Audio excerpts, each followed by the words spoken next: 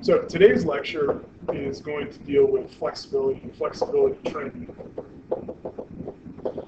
And before we really get into flexibility, what we want to identify is flexibility does not equate to stretching. So this is actually not what we are talking about. Uh, the figure here that you can see shows the amount of muscle stretch from a large amount of, uh, a small amount of muscle stretch to a large amount of muscle stretch. And the change in shape and size of the connective tissue.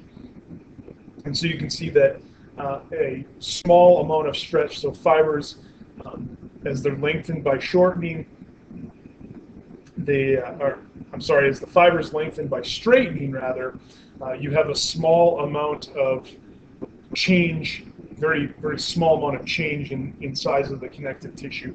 And then as the fibers begin to stretch or they begin to extend in length, you can see that that's where we begin to increase the size and the shape of that, uh, of that tissue. Uh, then there's a point where the fibers will become, become brittle and they'll also rupture.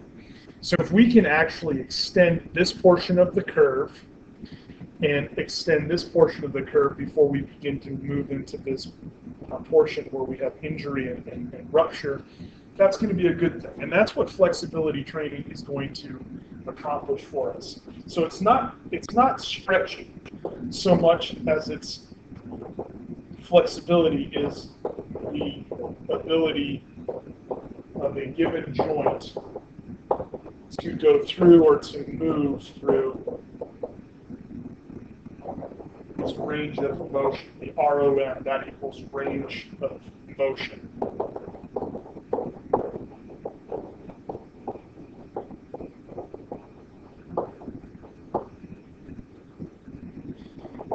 Now, when we look at the ability of a joint to go through its range of motion, range of motion occurs in two ways.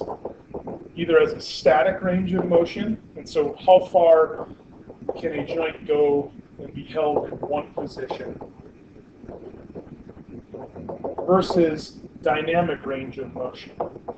And an individual's dynamic range of motion is this characteristic of joint's movement, not in that one position, but through its range of motion.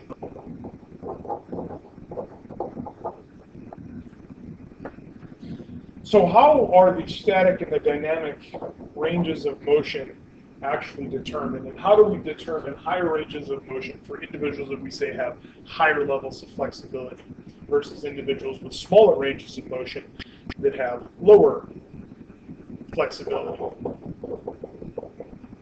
So the determinants are going to include things like joint structure.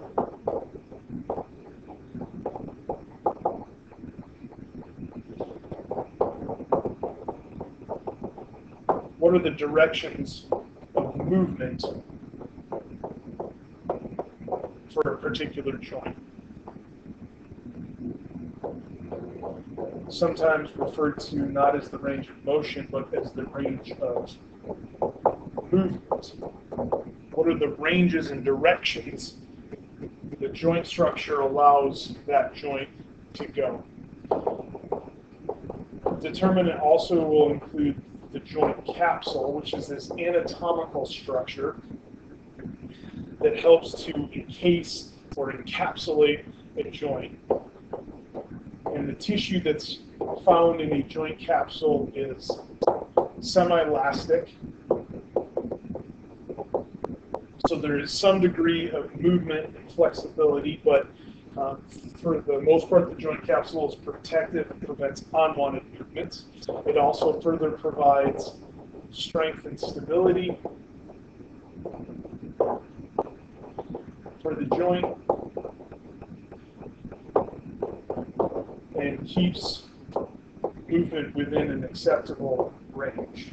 So it reduces movement to prevent unwanted unwanted movement outside of normal operation of the joint.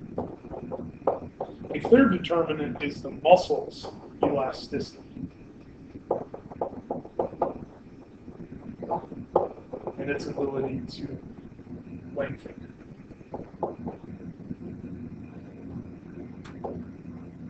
So individuals who have a higher level of flexibility, we're going to find have different joint structures, uh, more elastic joint capsules, and more elastic muscles. Now, most of you would think that probably the muscle is what helps to determine and regulate the joint's flexibility, but it's actually going to be the nervous system.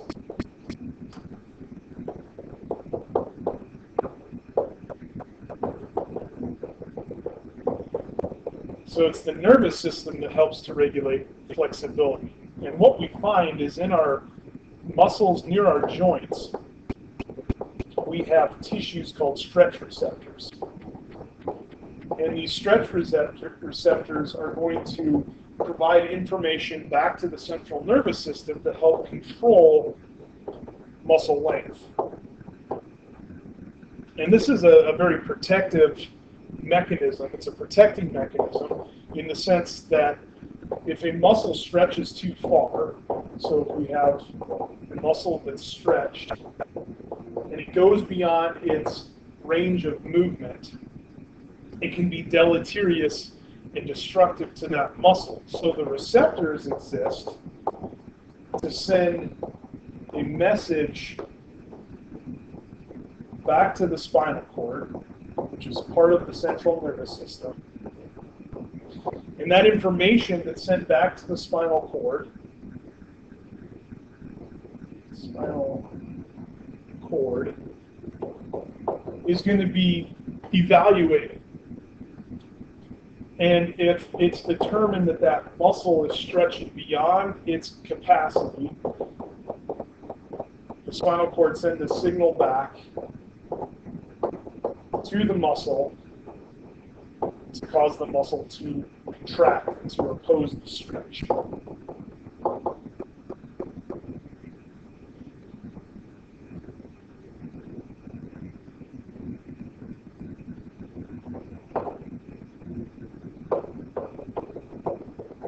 Now, in the case where the central nervous system determines that the muscle might be damaged, signals for a strong muscle contraction to occur. And this is opposite is an opposite reflex to cause relaxation.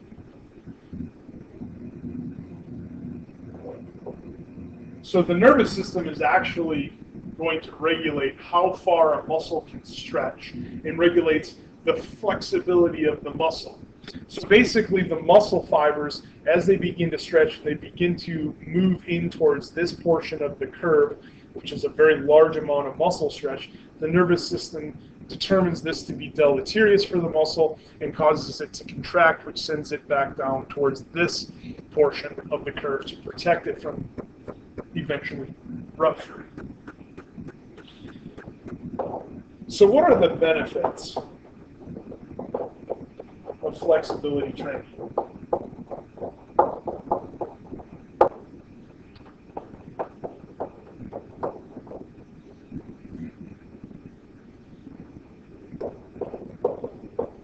So the benefits of flexibility training include, include improved joint health,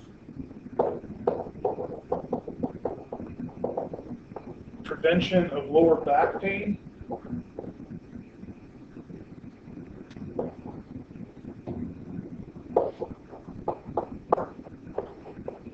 And lower back injury. Some other potential benefits.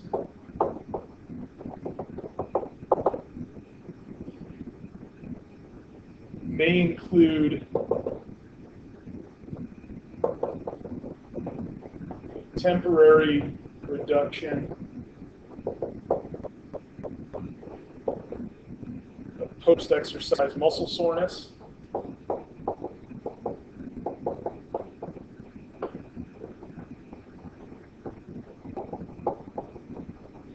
Also called DOMS or delayed onset muscle soreness. So a flexibility training program can have temporary uh, effect to reduce that muscle soreness after exercise, may provide relief of general aches and pains, and reduce the incidence of muscle cramps.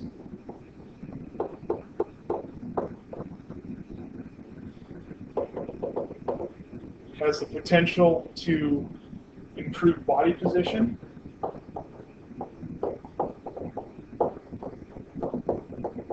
Posture can have advantageous effects on strength specific for sports.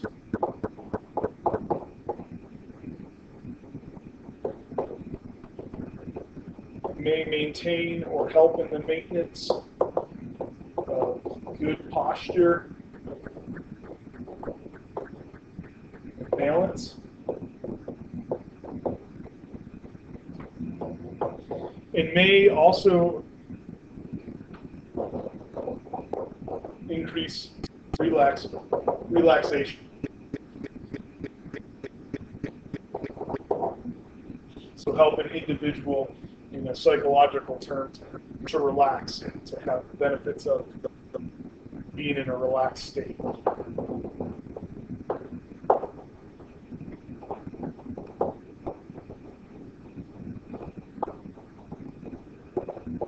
Flexibility training might also have some benefits on lifetime wellness.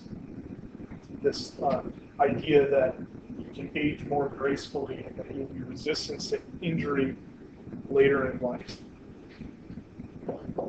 Okay, just like we've done with cardiorespiratory endurance training, muscle strength, and muscle endurance training, how do we tap into the benefits of flexibility training? And again, we're going to use the FIT principle for flexibility training.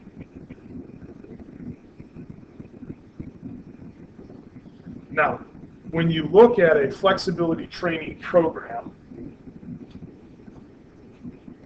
the FIT principle is applied as follows. Frequency, again, would be not how often to stretch, because that's not what we're talking about here. We're talking about how often to engage or train for flexibility.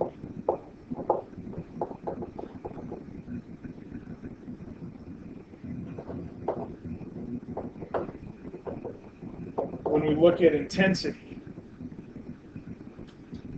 the intensity is how far to go through range of motion.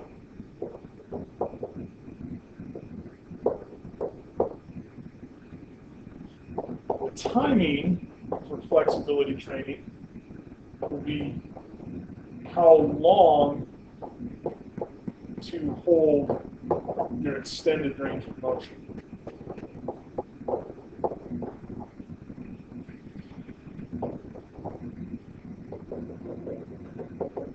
Last type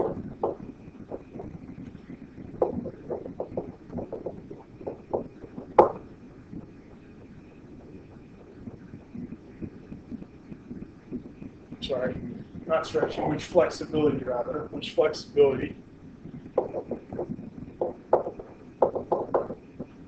exercises to perform.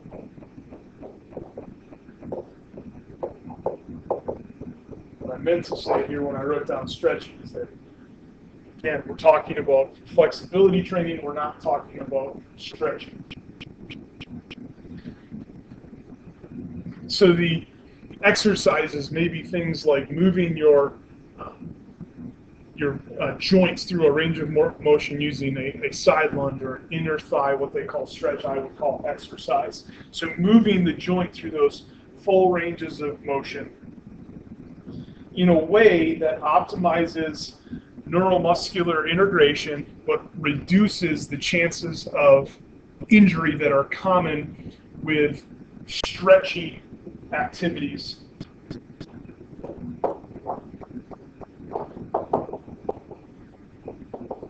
So let's talk about frequency, specific recommendations. Again, American College of Sports Medicine recommends two to three days per week.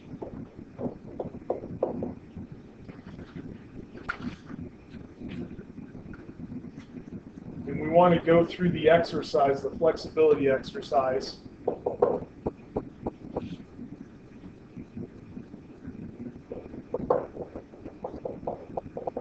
Flexibility exercise when the muscle warm.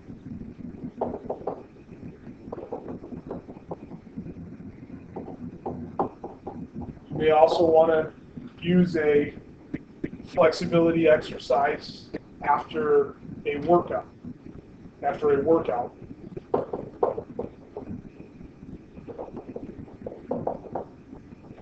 Or after an active warm up.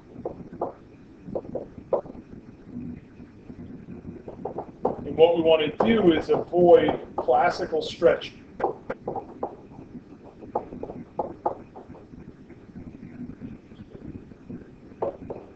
This increases the risk of injury. And when I say stretching, I'm talking about just simply moving through that range of motion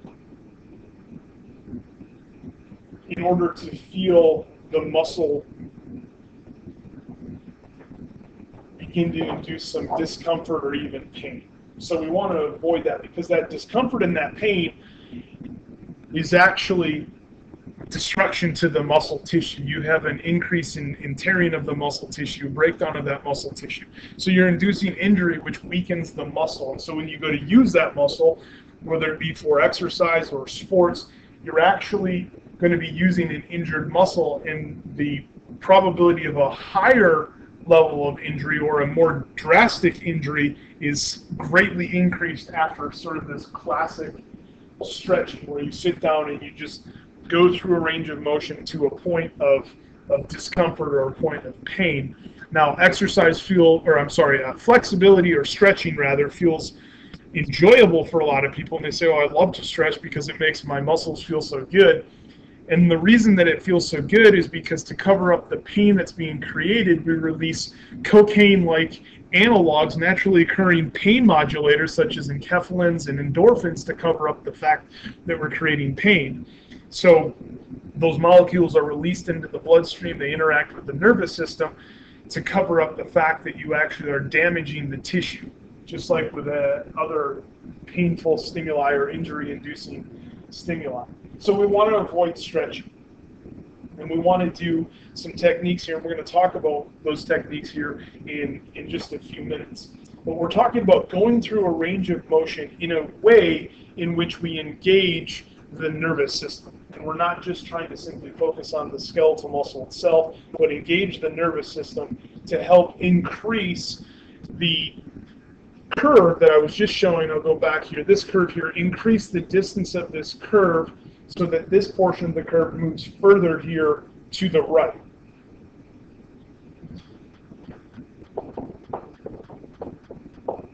So frequency, we're looking at two to three days per week for intensity.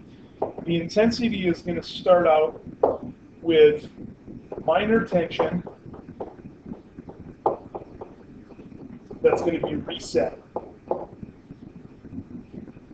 through contraction. We'll come back and we'll talk more about that in just a second. I know that's kind of amorphous at this point, but it'll make sense here in just a moment. So you're going to go to minor tension and you're going to reset that tension with a small amount of contraction, holding the position, the final position that was achieved during uh, that, that minor, minor tension. For time, we typically want to hold a flexibility exercise for 10 to 30 seconds of total time. If you go for more than 60 seconds, this increases the damage, increases the uh, likelihood that uh, during athletics or during sports that you're going to have uh, a higher rate of injury. Uh, also reduces muscle force and athletic um, ability. So hold for 10 to 30 seconds. 60 or more seconds is going to be problematic. You want to complete four repetitions per exercise.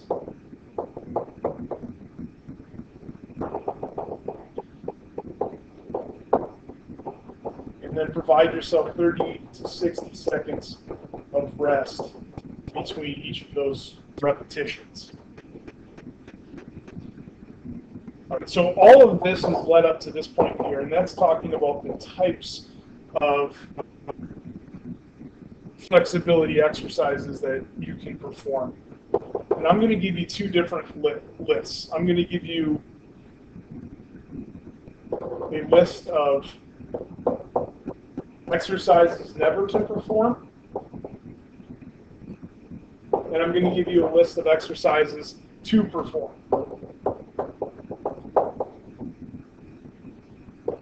Now, most of you, you may do this on a frequent basis, are already probably engaging in what's called static stretching. And this is going to be on our list of things to never do. This is that type of stretching where you have slow progression through the stretch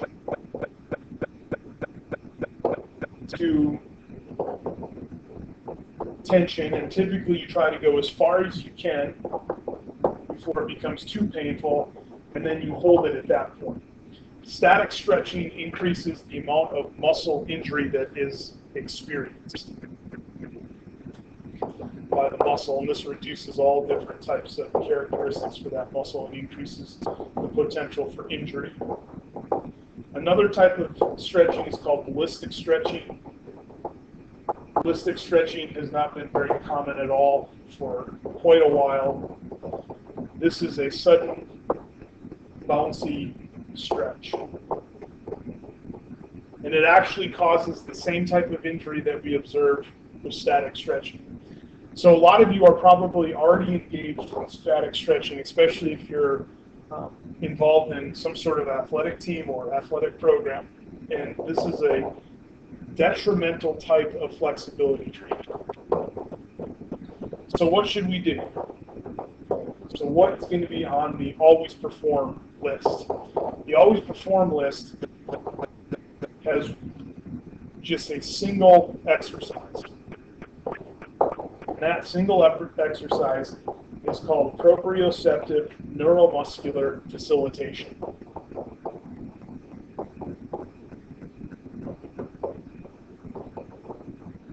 So proprioceptive neuromuscular facilitation, where you can refer to by its acronym, which is going to just simply be PNF, proprioceptive neuromuscular facilitation. Now remember, at the beginning of this lecture, I mentioned that flexibility is regulated by the nervous system. So this technique is going to engage the neural system, the neurological system. It's going to engage the nervous system and the muscular system, and it's going to facilitate this process of developing flexibility.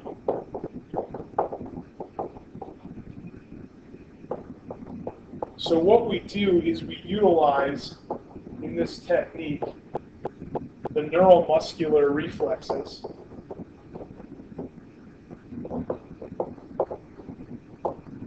To optimize increases in range of motion while reducing the potential for damage.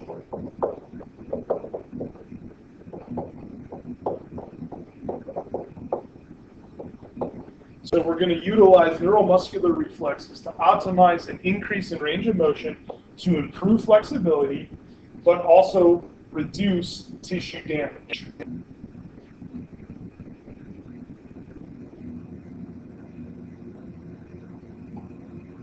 So to apply this technique, and you actually can go on YouTube and you can type in proprioceptive neuromuscular facilitation, and you can get videos that will show you how this technique is done. So what you'll do is you'll stretch or you'll move through a range of motion for a joint to a point of very mild, slight discomfort.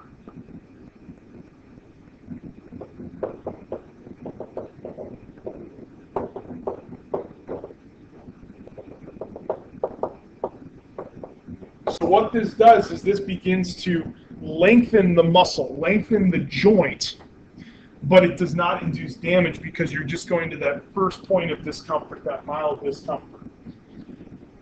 Then you're going to follow this up, keeping in that same position, so you may need a partner here. So you move through to that mild slight discomfort and then immediately contract.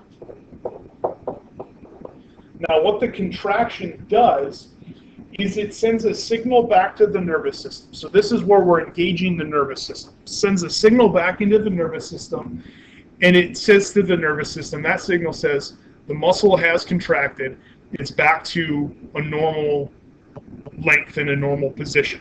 So we're sort of tricking the nervous system to think that we've actually gone back out of our stretch and that we're no longer stretching even though we've been holding in that same position and then you'll repeat.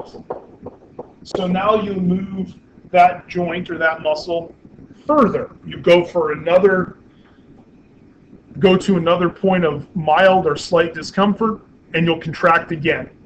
And then repeat that process one more time. So do this three times, and you'll get to a point where you move that joint through a very large amount of its range of motion.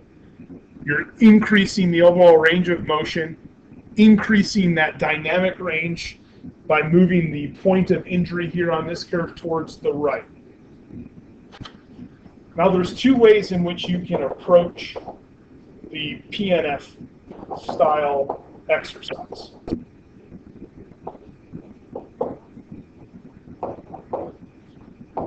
You can approach this from a passive perspective, which simply means you're going to have an outside force, typically it's a friend,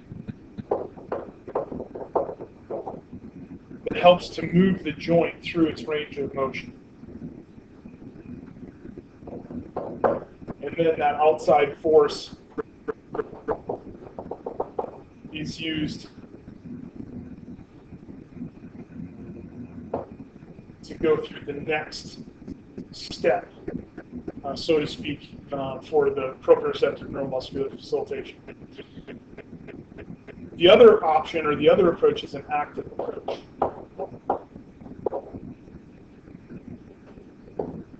In which the individual themselves contracts an opposite muscle.